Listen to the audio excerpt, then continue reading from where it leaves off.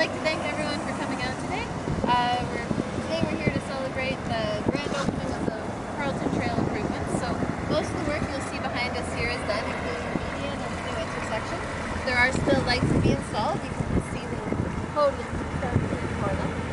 Uh, we do have a couple honorable guests here today to speak about this, but first and foremost, a big thank you to the province for the municipal economic funding that we have that's done to boost start the economy. So here to speak to that, we have Herb Thanks, Amber.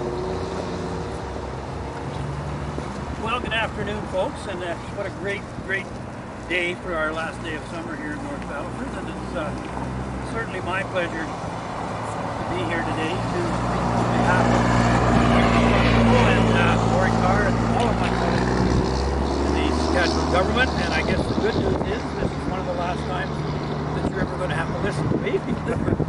so that, that's the good news for everybody in attendance. But welcome, Your worship. It's great to have an afternoon with you again, as always. So, but before I begin, I just would like to also acknowledge uh, that we're on the land gathered today at this Treaty 6 territory in the homeland of the Métis.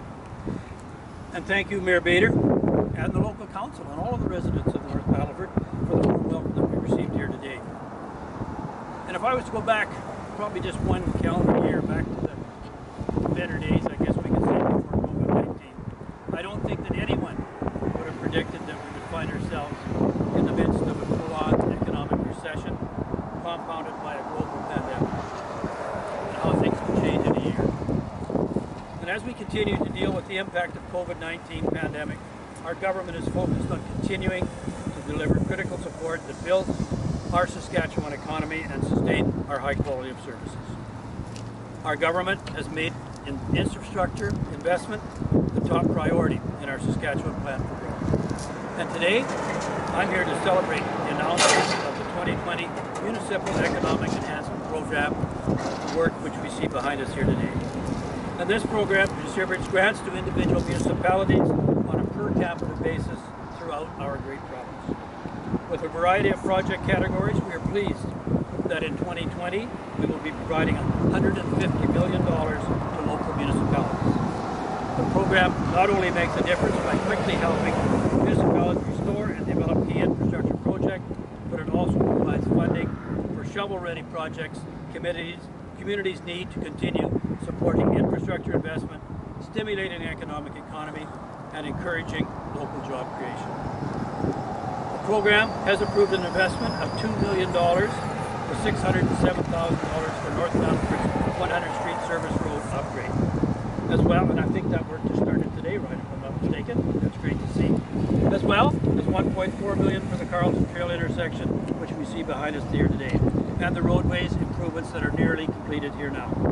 Maintaining these essential services and amenities supports North Battleford's community by providing a financial injection into the construction industry, further developing the yellow sky area of the city, and replacing underground asphalt and sidewalks. These funds from the Municipal, Economic Enhancement Program are just a small slice of the investments by the government of Saskatchewan. In March, the government announced $2.88 million in revenue sharing for our city here. And that's about 149% increase from what it was some, some in 0708. And this not only shows our commitment to this community, but the growth that has been created by our mayor and council in this city. And this year's funding is part of record levels of municipal revenue sharing. I think about some $278 million across this province.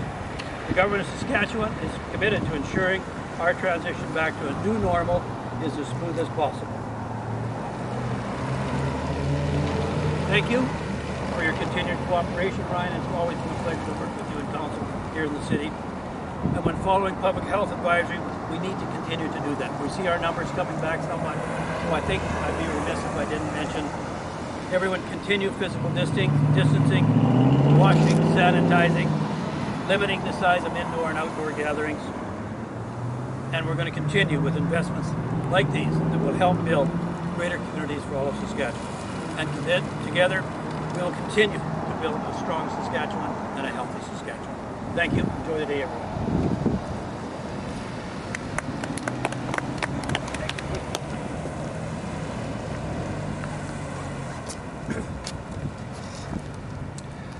Well, Good afternoon, ladies and gentlemen. Thank you for being here today, and thank you uh, uh, for your remarks, uh, Mr. Cox. It's uh, great to see you again. Um, I also acknowledge that we are standing here together in the heart of the traditional territory of the Indigenous Peoples of Treaty 6. This particular part of the city is actually named after a Cree leader named Yellow Sky, and we used to refer to this part of the city as the Southeast Quadrant. Uh, but when we went through our neighborhood development work, we started giving uh, uh, names to areas of the city. And we chose Yellow Sky uh, after considerable consultation uh, with uh, elders from various indigenous communities surrounding the city. The Yellow Sky area is the fastest growing commercial area in northwest Saskatchewan. a couple of years ago, um, a lot of what you see here right now wasn't here. Uh, there's two new hotels here. We have a brand new restaurant just opened on the weekend and, and uh, expansions of the Walmart property. And uh, City Council worked with administration to develop a master plan for this part of the city. We called it the Yellow Sky Master Plan and went through traffic patterns and uh, opportunities for future economic development. One of the limitations that existed uh, at that time was the intersection right behind me uh, and the intersection leading into the Walmart and uh, the, the property in front of where Mark's Work Wearhouse is there. What we had was uh, what we call a failing uh, traffic pattern in that um, the, the, traffic levels as they were weren't safe and certainly wouldn't be safe to accommodate future economic development. So as we saw this property over here, the Comfort Inn Suites uh, being built, we knew that we had to upgrade this, this intersection to allow for a more orderly and safe flow of uh, traffic. Um, last year, at the end of last year, the city received a development permit um, for a property just opened on the weekend. And uh, had we not identified this project and made plans to upgrade this intersection, we would have had to have turned down that development permit because we would have had an unsafe uh, traffic pattern. So we uh, we identified the need to proceed with that, but uh, we had a lot of struggles with funding that project. And that's why when the provincial government announced the Municipal Economic Enhancement Program, uh, we knew that this was a worthwhile project to, to apply to dedicate uh, funds to. Um, what we have here is then a, a, rearranged intersection. We now have a right in, right out, uh, where there used to be a, uh, a regular intersection. And this intersection will now be a lighted intersection, uh, which allows for more safe uh, uh, travel through this part of the city. Effectively, what this particular project has done has unlocked future economic development for this part of the city.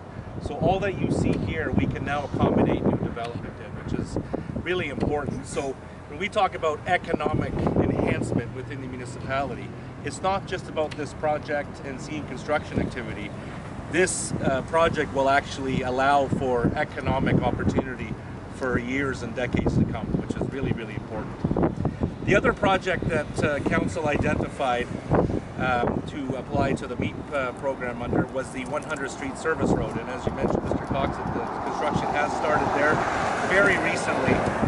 That project has been in the works for 13 years.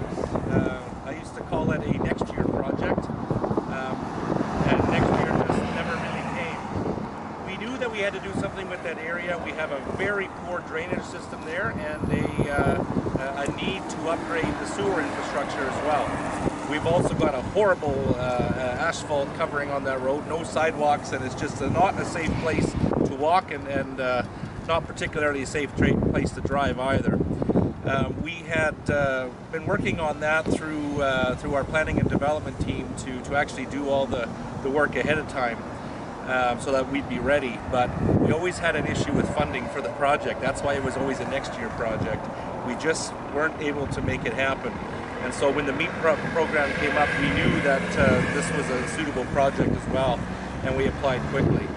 Uh, I think it's worth noting that uh, when the program was announced, our council was able to act quickly because we have an in-house planning and development team that did all the design work, all the consultation with business, all the pre-work. It was ready to go.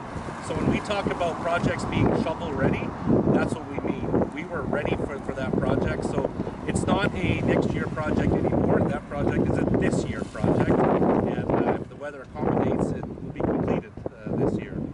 So these are two very important projects for the, uh, the health of our, of our community. And uh, I really want to, through you, Mr. Cox, to the provincial government, express our gratitude for this funding so that we can make these projects happen. And I want you to know that this was an opportunity our council didn't want to waste. We wanted to act quickly. And one last point. Um, when we had uh, went through the public bid process and, and collected bids from various firms, uh, ultimately firms that were selected were local firms. And I think that's really important. At a time when we are facing the greatest health and economic crisis of our generation, uh, the investment in these two projects uh,